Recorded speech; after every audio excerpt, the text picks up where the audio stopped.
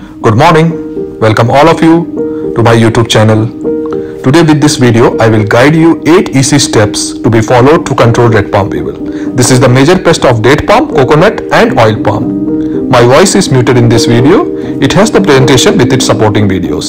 If you have any query, you can comment or drop mail. I request all of you to like, share and do not forget to subscribe my YouTube channel to get latest updates.